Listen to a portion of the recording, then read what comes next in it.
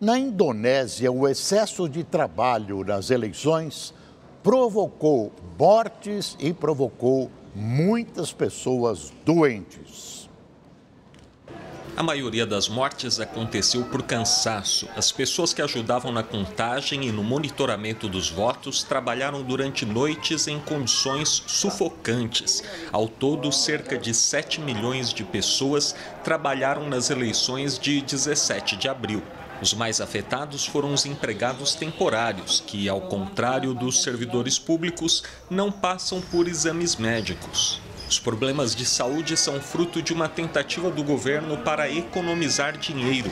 Pela primeira vez na história, o país de 260 milhões de habitantes juntou os votos presidencial e parlamentar, o que levou à sobrecarga dos trabalhadores.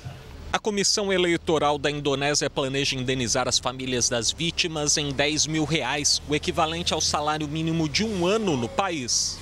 Tanto o atual presidente Joko Widodo como o adversário Prabowo Subianto se mostraram confiantes na vitória. Mas o vencedor só deve ser anunciado no dia 22 de maio, quando a contagem dos votos deve terminar. Marcelo Espíndola, de Macau, para o Rede TV News.